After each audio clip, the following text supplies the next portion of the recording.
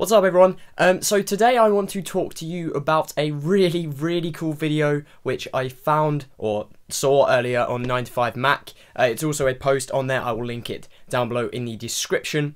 And basically what this is, it is an iPhone 5 mod or an iPhone 4S and 4 mod which lets you your iPhone look like an iPhone 5. This is just mental. It basically is an alternate back panel which you can screw off uh, your current back and it's got this two-tone design so it's the rumored background uh, excuse me the rumored back for the iPhone it just swaps out and you can put an iPhone 5 rumored back onto your iPhone 4 or 4S. Now this is just amazing. It's literally mind equals blown. Uh, it's just amazed me how this is. It's really cool, um, but also it's kind of rubbish at the same time because we don't even know if it's going to be um, like that. It just might be rubbish. I mean, it's $30, which, again, you're not going to feel too hard done by if uh, by the time it comes to the iPhone 5, which apparently is around about the 21st of September, uh, it doesn't anything look anything like it because it looks pretty cool anyway. They've released a whole promotional video